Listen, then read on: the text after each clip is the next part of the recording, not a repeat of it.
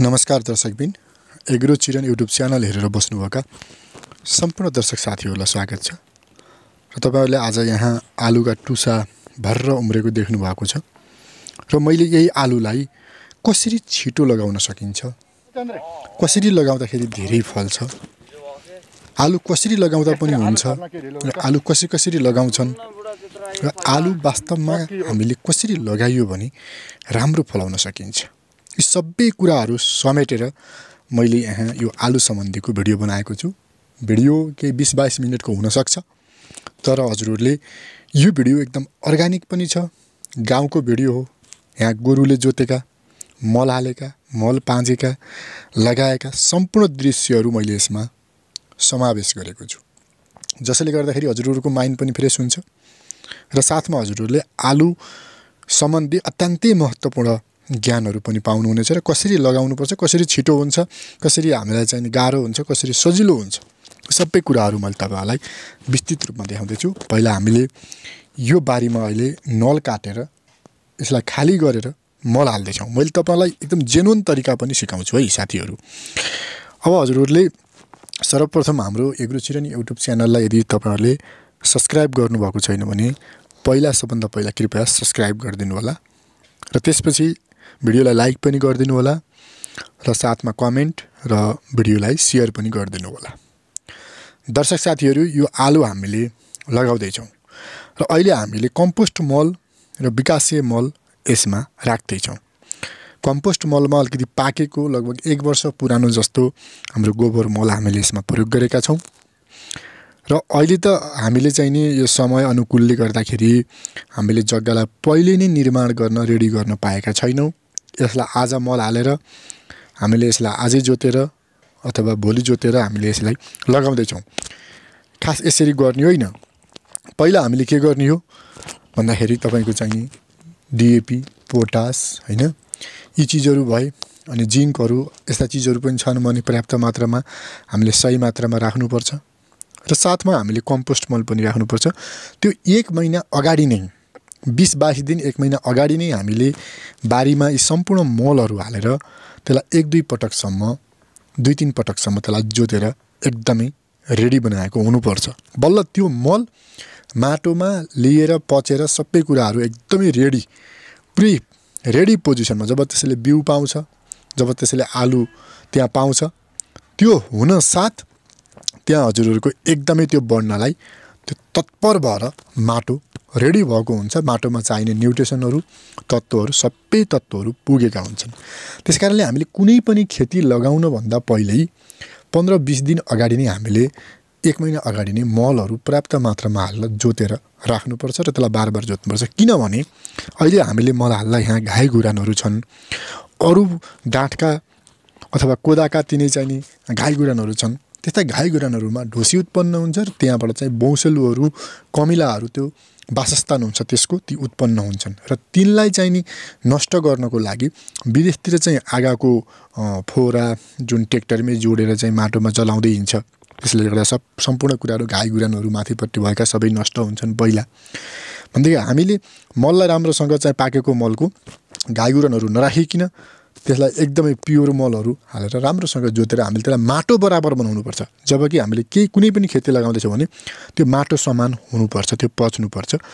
पन्ध्र दिन पन्ध्र दिन एक महिना अगाडि नै हामीले त्यसमा मलहरू हालेर राखिसकेको हुनुपर्छ। यो कुरा मैले तपाईँलाई एकदम तरिकाले बुझाएँ र तर अहिले हामीले परिस्थिति अनुसार यो मल अहिले नै आजै यति बेलै हालेका छौँ। तर यसरी हाल्दाखेरि पनि अब केही न केही असर त पार्छ कमिला अथवा चाहिँ अब तपाईँको बौँसेलुहरू यस्तो चाहिँ यसैले ल्याउँछ होइन मल काँचो भइसकेपछि।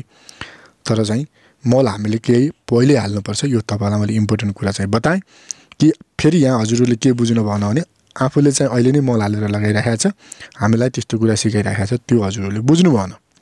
त्यसपछि मैले अब गोरुहरू अब गाउँको अर्ग्यानिक कुराहरू पनि तपाईँले देख्न पाउनुहुन्छ जस्तो गोरुहरू हामीले एउटा एउटा घरमा पालिरहेको हुन्छ सबैले दुधुन्डै गोरु पाल्न सकिन्छ भन्ने पनि हुन्न। त्यस कारणले गोरुहरू जुटाएर हलो जुवा ल्याउडीको यी सबै कुराहरू जुटाउनुपर्छ र यो त्यसपछि हामीले यसलाई गोरुहरूलाई अब घर लगेर घर बारीमा लगेर जोत्दै पनि छौँ। र अघि मैले के को कुरा गरेँ भन्दा मललाई व्यवस्थित तरिकाले रेडी बनाउने कुरा गरेँ होइन। मल हजुरहरूले अब एक रोपनीमा अलि लगाउँदै हुनुहुन्छ भने यदि कुखुराको मल हाल्नुभएको छ भने आठ दस बोरा हाल्नुहोस्।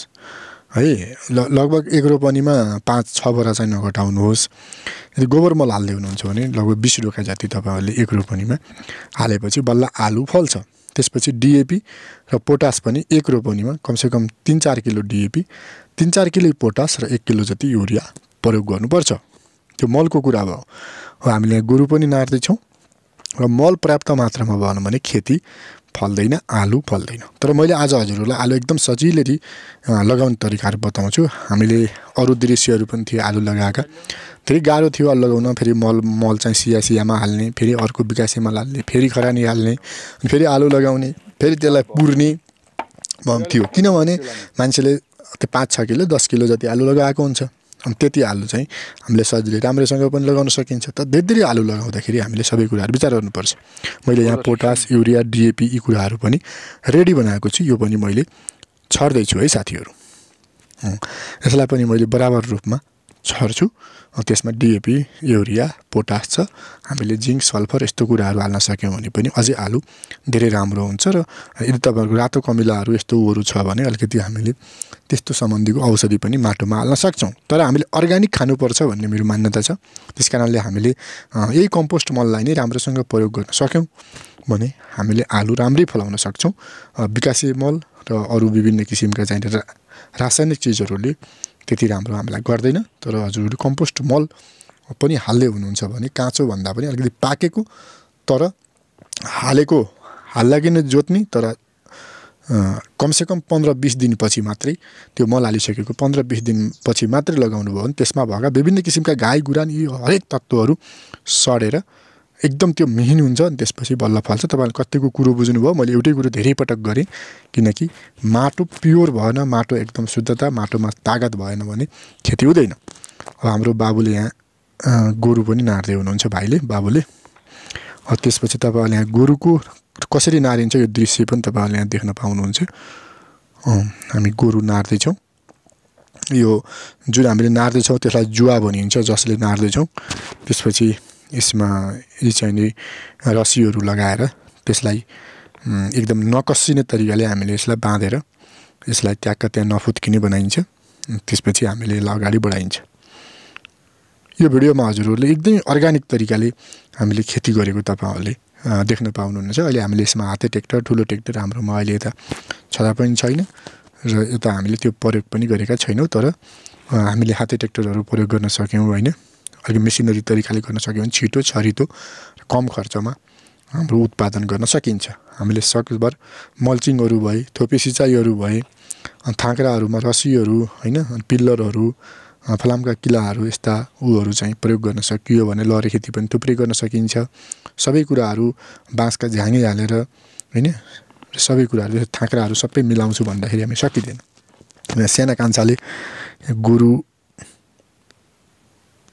मा हलो पनि हाल्दैछन्।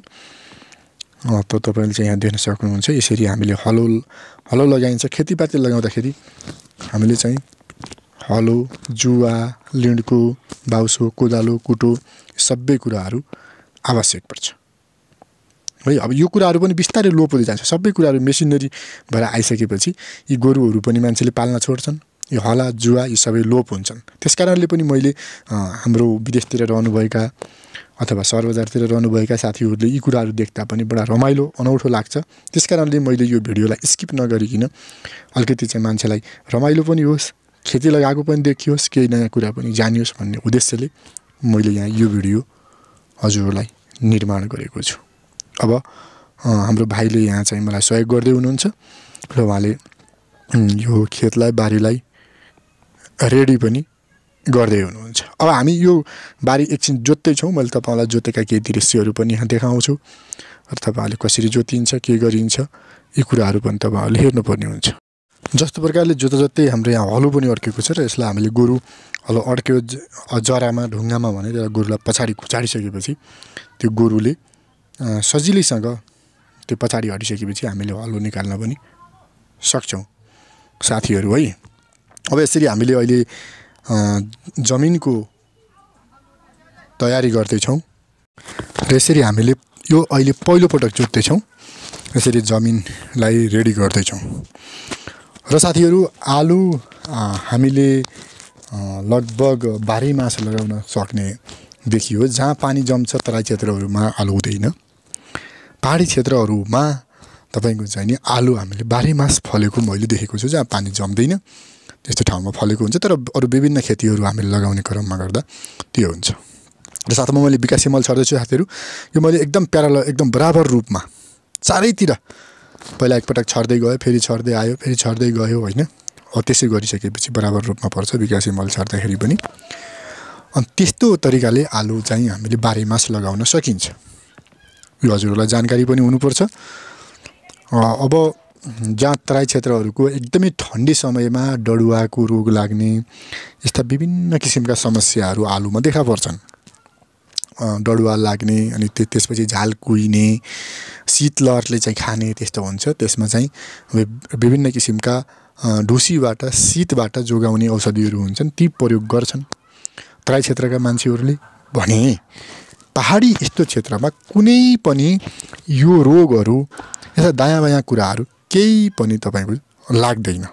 एकदमै यो निरोगी हुन्छ। अन्तिम यसको चाहिँ फल फलेर सकिने बेलासम्म पनि यो आलु जस्ताको त्यस्तै बोट भइरहेको छ। म फेरि त्यो दृश्यलाई पनि अपडेट गर्नेछु मित्रहरू साथीहरू है।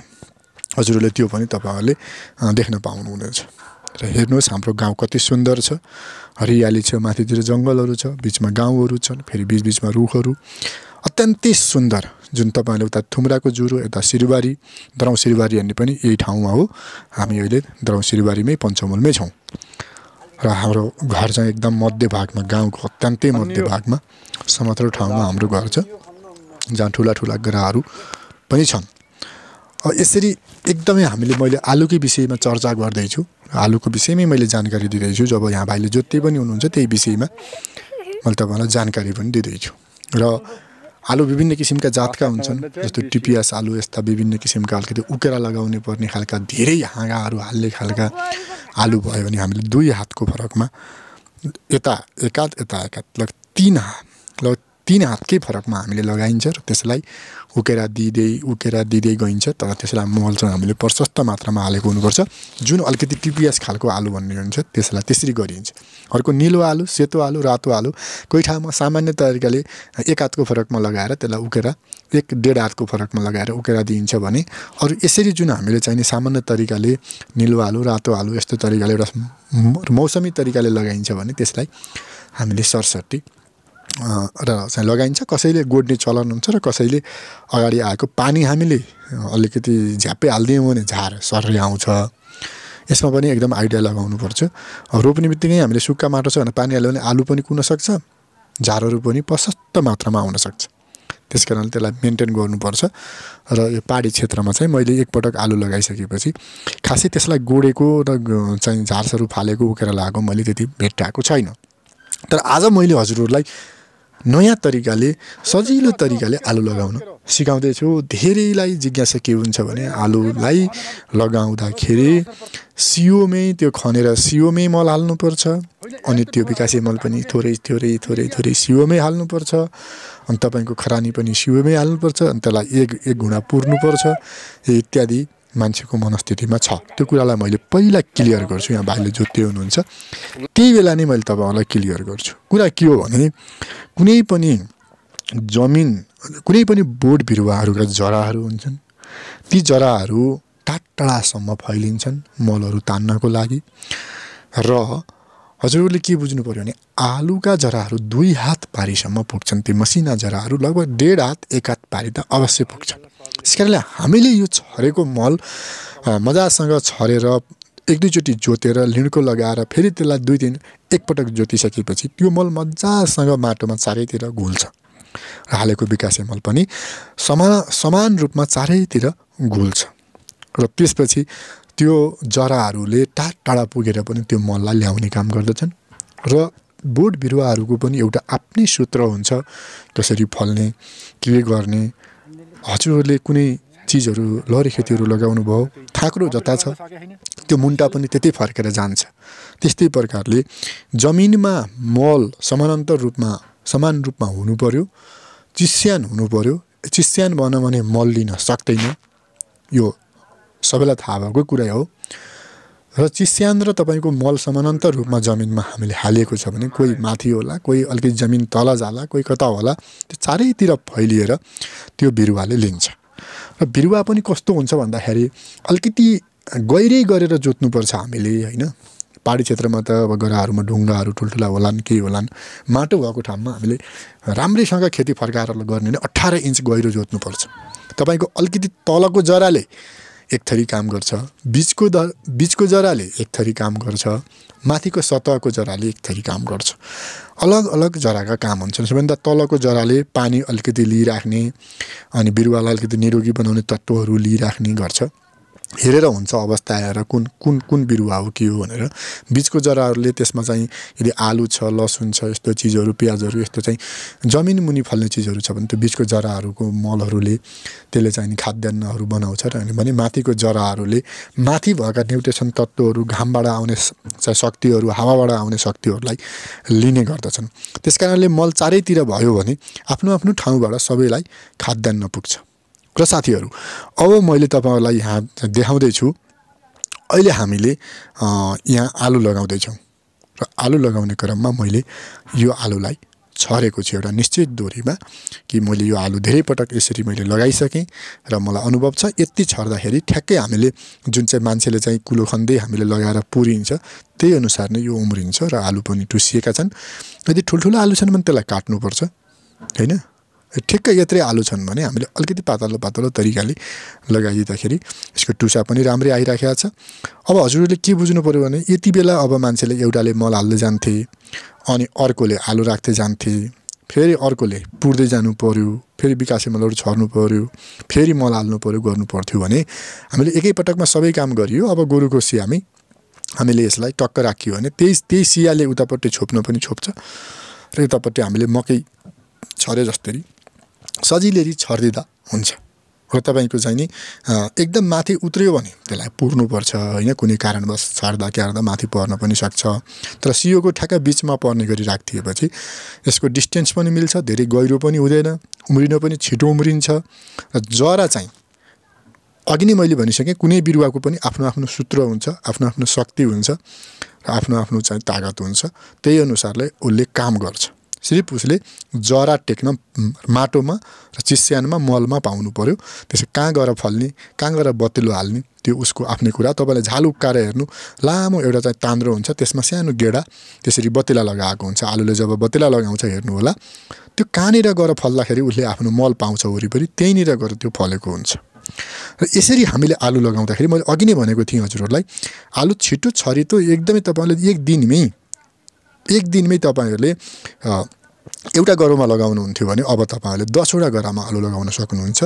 यसो गर्दाखेरि पनि हाम्रो अलिकति पैसाहरू पनि बचत हुन्छ काम पनि सजिलो हुन्छ। हामीले जब काम गाह्रो हुन्छ तब हामीलाई काम गर्न मन लाग्दैन। जुन काम सजिलो हुन्छ हामीलाई गर्दा त्यो काम हामीले धेरै गर्न मन पराउँछौँ रमाइलो पनि हुन्छ। र यसरी हामीले मल प्रशस्त मात्रामा हालिसकेका छौँ र यसरी सियोमा बराबर दुरीमा मैले आलु खसाल्दै पनि गइरहेको छु।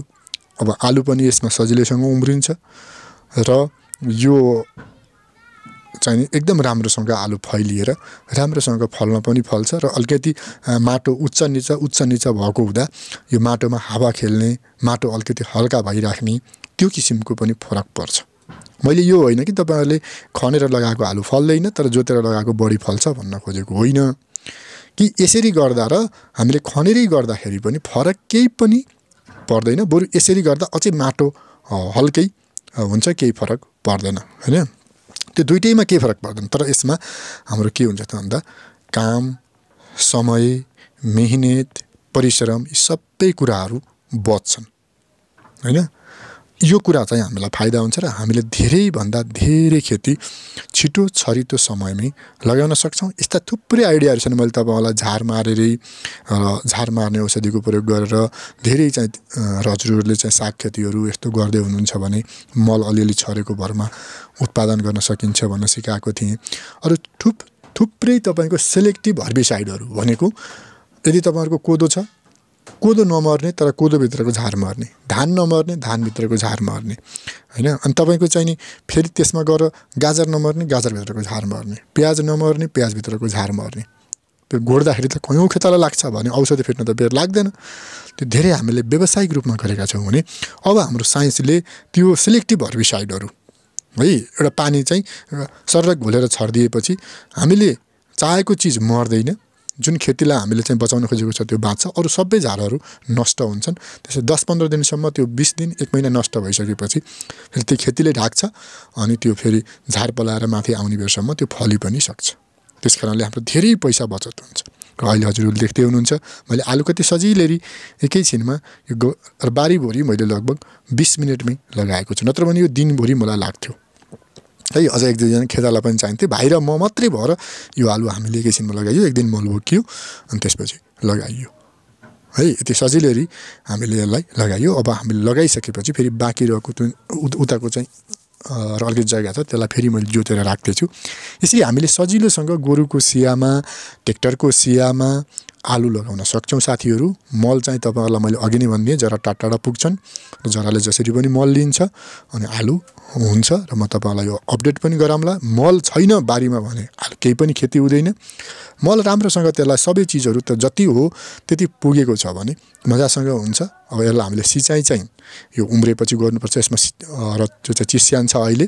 उम्रेको जब हामीले रोपेको बिस बाइस दिनपछि सर एकचोटि सतह भिज्ने गरी सिँचाइ गरिदियो भने पुरै मलहरू भिज्छ र सबै मलहरूको उ गरेर एकदम राम्रो फल्छ अब हामीले सबै काम सकेर गोरु पनि फुकाएर अब हामीले यो आफ्नै जहाँ यसको गोठ हो त्यहीँ लगेर बाँध्दै पनि छौँ। र दर्शक साथीहरू तपाईँले भिडियो अन्तिमसम्म हेरिदिनु भयो।